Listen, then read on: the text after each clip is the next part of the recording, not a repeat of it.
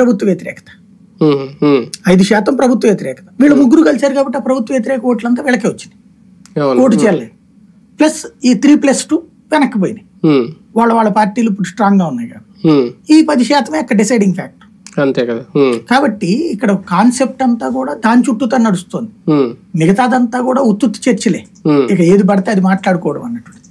ప్రాక్టికల్గా రేపు పొద్దున జనం చూస్తారు. అవును ఈ లోపు ఎవరి ఫార్ములా వాళ్ళు చెప్పుకోవచ్చు. జగన్ జీవితంలో నాశనం అయిపోతాడు వెళ్ళిపోతాడు చచ్చిపోతాడు లేకపోతే కొట్టేస్తారు తుచ్చేస్తారు జైల్లో పడేస్తారు. అంటే బాబు గారి ఆలోచన ఒక వ్యూహం. ఆయన రాజకీయ చాణక్యుడు కాబట్టి ఏదో ఉంటాయి అంటారు కదా. ముప్పై ఏళ్ళు వెనక్కి వెళ్ళిందంటే డెవలప్మెంట్ ఆస్పెక్ట్లోనే ఆయన మాట్లాడుతున్నది.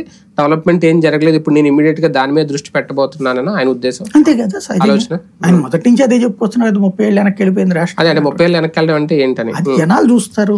ముప్పై ఏళ్ళు వెనక్కి డెవలప్మెంట్ అయినా సంక్షేమం కూడా ఉచితాలు ఎక్కువ ఇవ్వడం వల్ల ఇలా అయిపోయాయి అట్లా అంటలేదు కదా ముక్క. ఏళ్ళు వెనక్కి వెళ్ళిందని స్టార్టింగ్లో అన్నారు అప్పుడు. అదే అనేది ముప్పై ఏళ్ళు వెనక్కి వెళ్ళింది ప్రిపేర్ అవ్వండి. ఫస్ట్ నుంచి కూడా చెప్తుంది అదే. ఈ పాయింట్ అని ఎత్తట్లేదు. అదే అవును. టోటల్గా రాష్ట్రం వెనకబడిపోయింది. ఆటవిక కాలం అనొచ్చు. ఈ గొడవలు లేకపోతే కనుక కొన్ని దాడులు డెడ్ బాడీలు డోర్ డెలివరీలు ఇవన్నీ దృష్టిలో అని ఉండొచ్చును ఉమ్, ఆటవికం వైపు కన్నటువంటిది.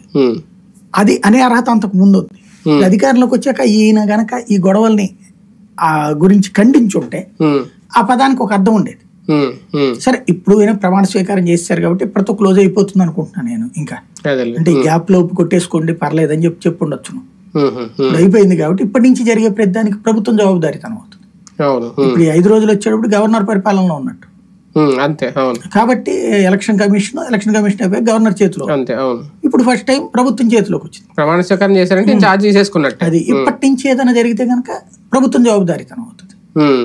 కాబట్టి ఇక్కడి నుంచి ఈ లోపుగా ఇష్యూ కాబట్టి అట్లా మాట్లాడి ఉండొచ్చు. అభివృద్ధి ఒకటి సంక్షేమం. ఆల్రెడీ ఈయన హామీలు ఇచ్చాడు కాబట్టి ఆయన కన్నా ఎక్కువే ఉంది ఒక రకంగా.